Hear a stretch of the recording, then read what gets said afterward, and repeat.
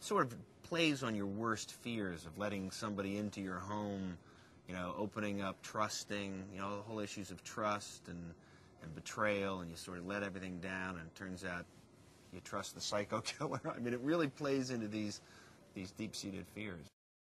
He's got a real eye for, for truth, you know, for a truthful, you know, if something doesn't feel true or doesn't feel honest, you know, let's let's rework this. Let's let's move this around. And and particularly in a film like this, where there are, you know, real genre, if you will, uh, pieces to the movie.